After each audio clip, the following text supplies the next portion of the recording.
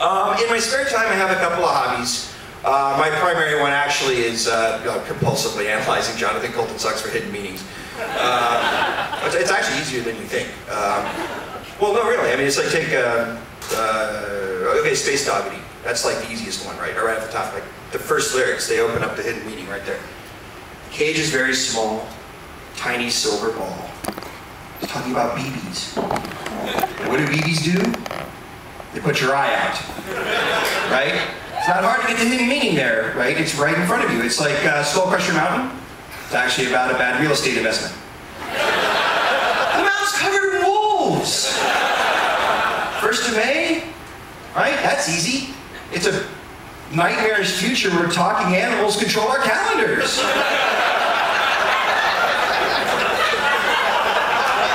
the future soon is about the past. I got like a way down the, the, the, list, and then I decided to actually apply it to um, Mike Phirman's stuff. And got to Chicken Monkey Duck and realized that was a song about Jonathan Coulton.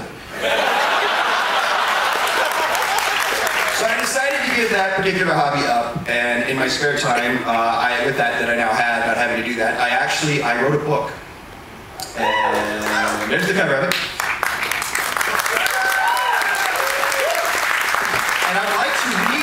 a brief story from uh, this book to you that I think you will find entertaining. Uh, the premise of the book, just real quickly, is that I've been a Microsoft employee forever.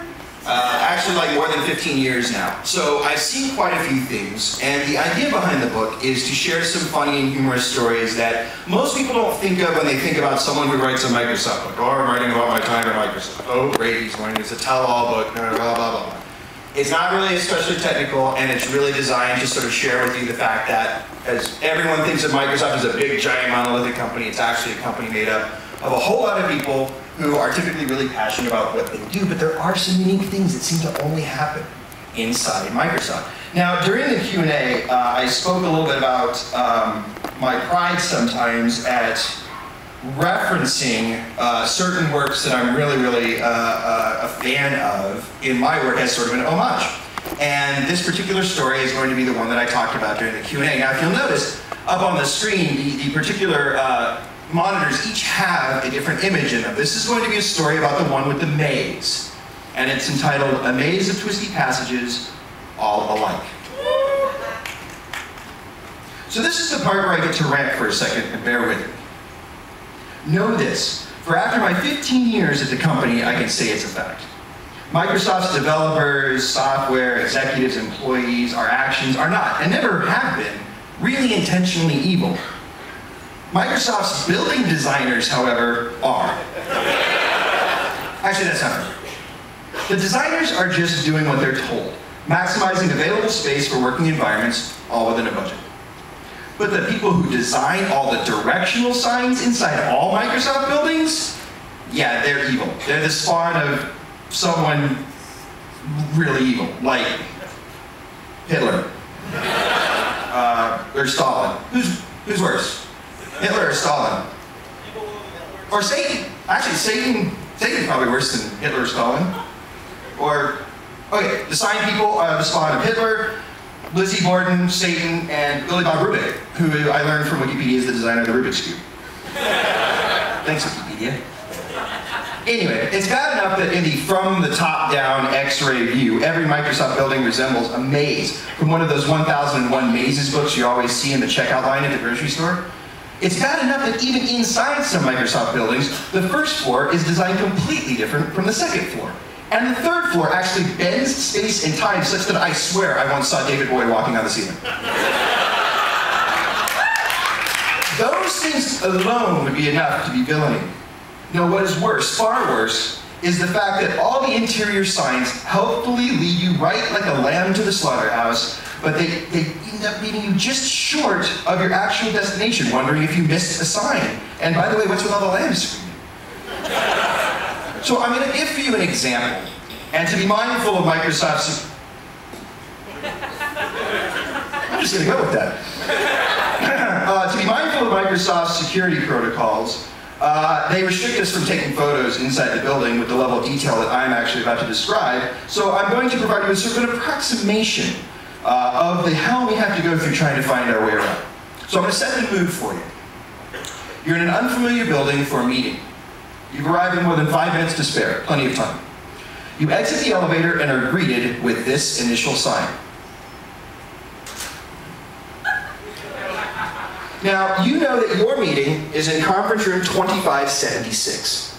So you exit the elevator to the right, intending to go to the kitchen to grab a drink because it's on your way. You walk down the hall and to the next sign, which says this.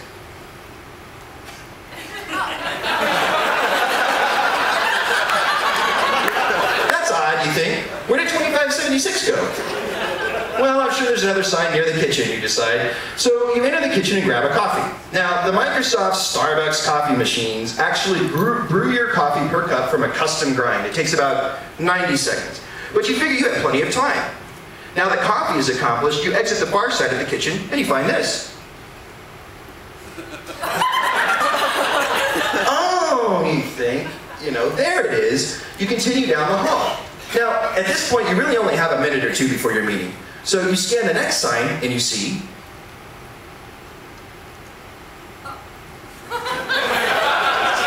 You're momentarily surprised that the restroom is now folded space to move in front of you.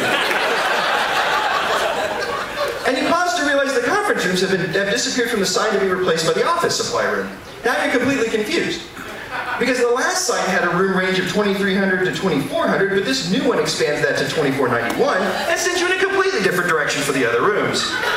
Neither room range matches the conference room that you're trying to get to.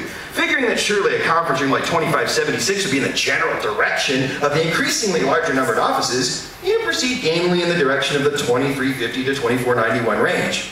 Your meeting has now officially started when you reach 2491 down some long, deserted hallway. Just. Uh, and you stumble across conference room 2999 filled with people you don't even know. On the door is a sticker that says meeting moved to conference room 2202, parentheses, by the stairs, close parentheses. Now people in the offices around room 2999 are kind of looking at you because you probably just uttered out loud, you've got to be fucking kidding me. Your smartphone, watch, internal timing mechanism, whatever, informs you that you are now three minutes late. You hustle back down the hallway to the sign you just passed, only to see that totally different signs are posted facing the other way. All right, now you're six minutes late, and you still have no idea where you are in the building. You get a text message on your phone from your boss or other helpful coworker trying to protect your reputation as not being one of those people who's always late. The text says, VP is here. We're waiting for you to start. The VP, the vice president of the division, is here? Oh my God, you may or may not exclaim out loud. You run back to the elevator. On the way, you pass conference room 2202. In your haste and panic, you think you recognize a friend of yours in 2202 who's supposed to be at your meeting. But they can't, that can't be because yours is in 2576. Hmm, maybe they just had a more important meeting in 2202 and couldn't make it to yours. But regardless, you're seven minutes late and you need to find 2576. Heading in the opposite direction from the elevator's initial sign, you find five feet away from the elevator with no signage pointing you there whatsoever, conference room 2576. It is filled with people you do not know. It has a sticker on it that says, blah, blah, blah meeting, your meeting, has been moved to 29.99. which you remember had a sticker on it saying it had been moved to 2202, which you just passed and now realize is filled with your friend, the people, and the vice president for the meeting. You may or may not at this point scream out loud, motherfucker! and run back to 2202, forsaking signs altogether. You try as nonchalantly as possible to open the door and enter, saying carefully and slightly breathlessly, My apologies for being late, I couldn't find the room.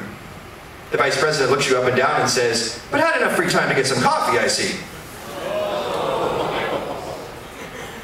The sign-in situation at Microsoft is so pervasive that among some employees, if you want to send a passive-aggressive signal about who needs the meeting more than you, you make all the invitees come to your building. Likewise, if you need to make peace or resolve a conflict you think you might be wrong about, you schedule the meeting in their building as a peace offering. Really?